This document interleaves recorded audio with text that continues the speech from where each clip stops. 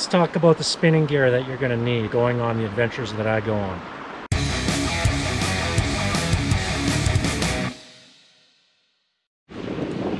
Today, as usual, we're going to cover all the tips, tricks, techniques, all the gear involved, and enjoying the adventures that I go on.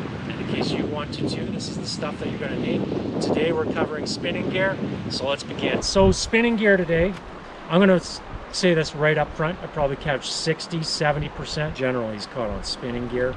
Been doing it since I was two years old.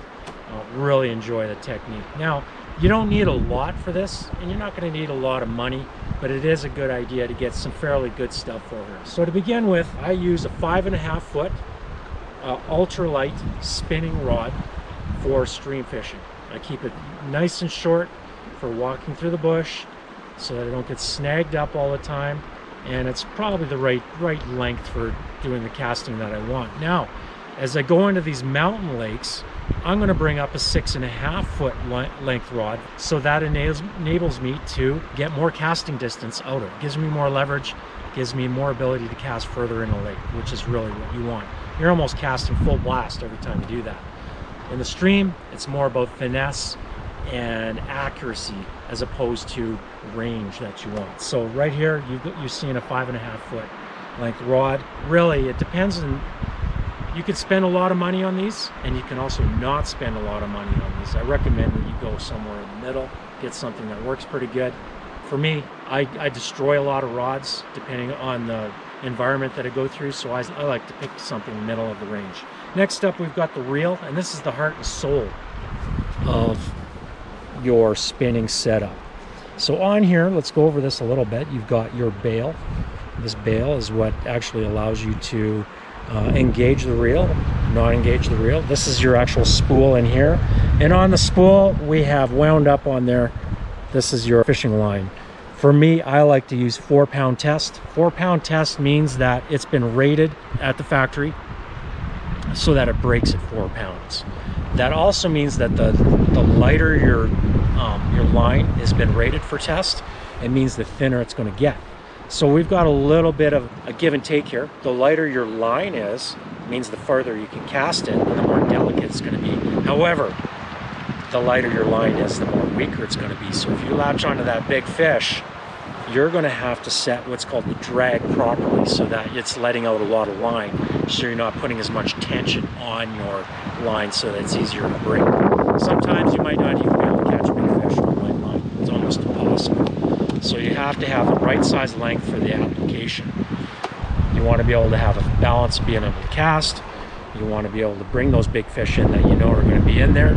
Or if they're just little fish, then you just have light line on there. You're able to cast them. This particular reel, this is called the Pflueger President XT. Wonderful, wonderful reel. Haven't had too many problems with it. As you can see, it's been battle tested. There's parts missing off it. The paint's been chipped but that allows me to give you the right review on it, which I'll get to at a video down the line. Anyways, so this is your drag setup on the top. This allows you to set the tension. If you got a small fish, you pretty much want to have it tight.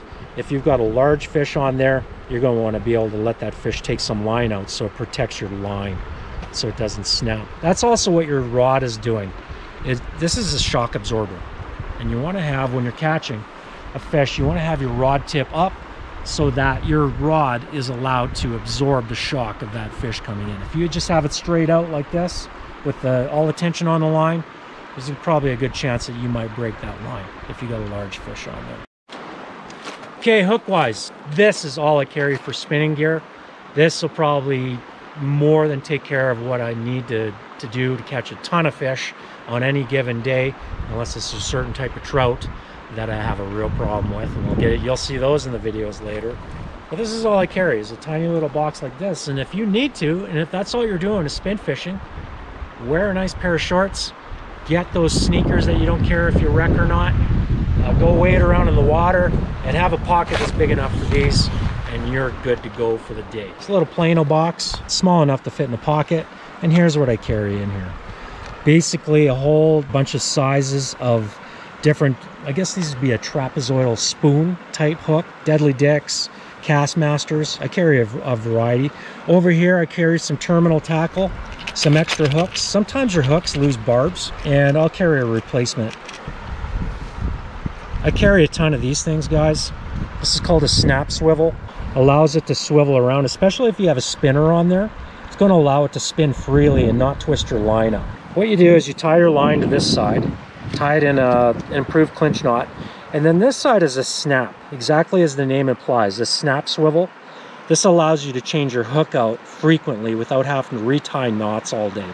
So basically two things, quick changes and allows you to spin and, and prevent line twisting, which is bad because you end up bird's nesting your, your line down the line. You end up losing a whole bunch of them. So terminal tackle and a whole bunch of trapezoidal spoons. You can see I've got a large selection of those. Might be a little hint, might be a little hint as to what kind of uh, hooks really work well. Let's look at the other side. This is a dual-sided box. Here's another hint at what kind of, of uh, hooks work really well on trout, whether it be rainbow, brook, browns, cutthroats, all work really well. First up, we've got what are called Len Thompsons, various different uh, design patterns in there.